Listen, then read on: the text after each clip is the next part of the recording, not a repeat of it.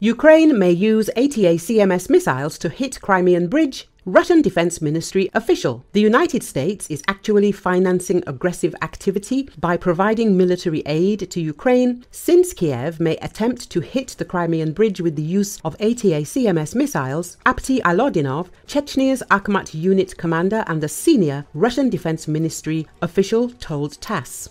Recall, US President Joe Biden signed into law a package of military aid to Ukraine, which was passed by Congress. We should understand that this package of aid the US is trying to provide to Ukraine was initially meant to make it possible for Ukraine to do something extraordinary on the battlefield. Two thirds of this money will obviously stay in America, and part of it, including in the form of ATACMS and other weapons, will go to Ukraine as alleged aid. As a matter of fact, this can be described as financing terrorist activity. I think that these missiles will be used to stage terrorist attacks on Russian territories that could be reached by them and it is not ruled out that they may try to hit the Crimean Bridge, Alaudinov said, adding that the Russian military will do its utmost to repel such attacks. Ukrainian forces will be able to use a newly delivered coveted long-range missile system to more effectively target Russian forces in occupied Crimea, the Pentagon said.